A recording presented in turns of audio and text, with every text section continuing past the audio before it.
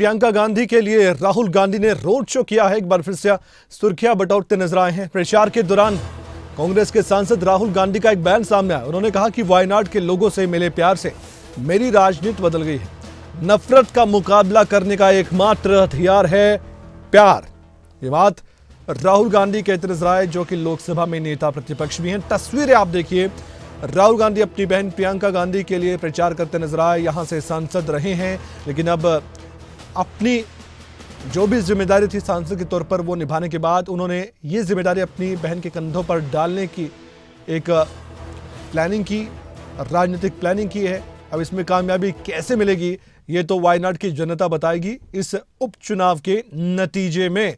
लेकिन भीड़ काफ़ी नज़र आई है, चाहे वो उनके सहयोगी दल हो जो उनका सपोर्ट कर रहे हैं, या फिर कांग्रेस के सांसद जितने भी यहाँ के आसपास के हैं या फिर नेता हैं, कांग्रेस पार्टी के कार्यकर्ता हैं, सभी के सभी यहाँ पर राहुल गांधी, प्रियंका गांधी को देखने के लिए भी आए, उनका सपोर्ट करने के लिए आए, उनकी तरफ़ से कई बातें कही गई है। रोड शो में हुजूम भी आप देख सकते हैं, काफ़ी ज़्यादा संख्या में कांग्रेस कार्यकर्ताओं का और बाकी जो सहयोगी दल हैं, कांग्रेस पार्टी के उनका दिख भी रहा है। दावा यह है कि प्रियंका गांधी यहाँ से ज़रूर जीतेंगी क्योंकि राहुल गांधी की ये सीट थी, लेकिन आप जानते हैं, दो जगह से चुनाव लड़ा, फिर उन्होंने इस सीट को छोड़ दिया इसलिए यहां पर बाई इलेक्शन अब हो रहा है राहुल गांधी ने क्या कहा था प्यार नफरत की बात को लेकर आइए आपके सामने वो बयान भी रखते हैं And I realized that it is because the people of Wayanad gave me so much love and affection that my entire politics changed.